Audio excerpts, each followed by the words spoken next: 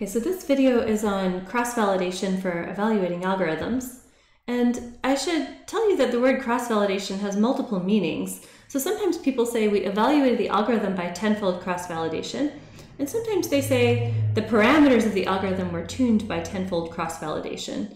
And um, these have very different meanings, um, but the, the procedure uh, overlaps quite a lot, and the basic uh, aspect of the procedure is the evaluation part. So that's what I'll talk about in this video.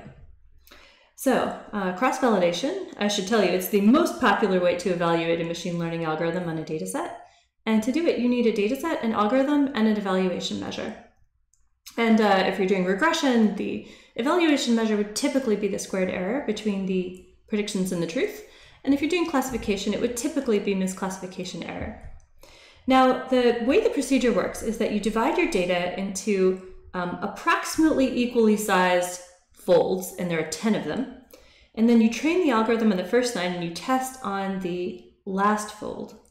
And you repeat this 10 times using each fold in turn as the test fold. And then in the end, you report the mean and standard deviation of the evaluation measure over the 10 folds. So let's go over how uh, this works. So here's my, my training set and I divide it into 10 folds. And then I reserved one fold as the test fold, trained it on the um, on nine of the folds, and then evaluated on the tenth fold, the test fold. And then I rotated which fold is the test fold, and then in the end, I reported the mean and standard deviation of the um, the evaluation measure across the folds. And the nice thing about cross validation is it doesn't just give you one number, right? It, it actually gives you some notion of uncertainty. It gives you um, that standard deviation across folds, which is very valuable in understanding um, kind of the quality of that, um, the, the, the quality of that value, uh, the evaluation val- measures value. Okay, and then we usually say uh, the algorithm that performed the best was the one with the best average out of sample performance across the tenfold. So this is if you're doing a comparison over different algorithms. And then if, if you are doing such a comparison, um, I very often try to do um, statistical significance tests to determine whether a particular algorithm was better than the other ones. So to do that, you have to keep all of the 10 numbers that you compute across the 10 folds, like the, the 10 um, evaluation measure values in the test set. You keep those 10 numbers, and then you would do a two sample, uh, a matched pairs two sample t-test uh, over the different algorithms. And you have to make sure you, you, when you do this test, you have to make sure, of course, that you use the same 10 folds for each of the different algorithms.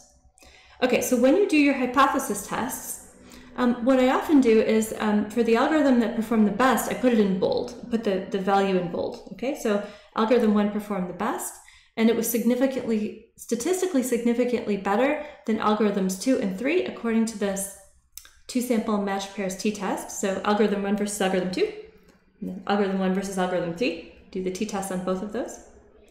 And then um, sometimes you end up in a situation where algorithm one performed, say it performed better than another algorithm, but it wasn't statistically significantly better.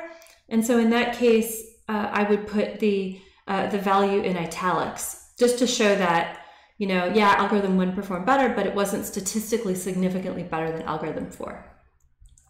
Okay, so in the next video, we're going to talk about cross-validation for tuning parameters and in the video after that, we'll talk about nested cross-validation, which includes both procedures, kind of tuning parameters and evaluation. Thanks.